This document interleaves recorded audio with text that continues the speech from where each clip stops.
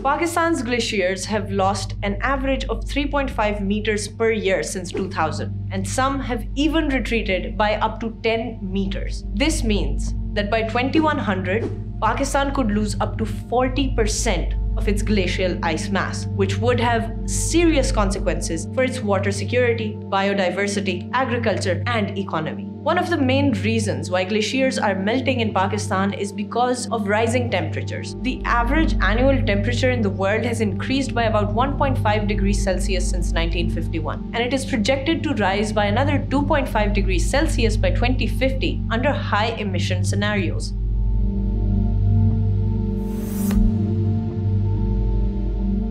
This increase in temperature affects not only the surface temperature of glaciers, but also their albedo or reflectivity. Glaciers that are darker in color absorb more radiation than lighter ones, which makes them warmer and more prone to melting. As glaciers lose their snow cover and become exposed to direct sunlight, they also lose their insulating properties and heat up faster. Another reason why glaciers are melting in Pakistan is because of changes in precipitation patterns. Glaciers depend on snowfall as their main source of water accumulation during the winter months. However, due to climate change, some regions may experience more droughts or floods than usual, which can affect the availability and quality of snowfall. A third reason for Pakistan's glacial melt is because of human activities that alter the natural balance between snowfall and meltwater. Some examples are deforestation, urbanization, agriculture expansion, road construction, mining operations, and hydroelectric dams. These activities can reduce the amount of vegetation cover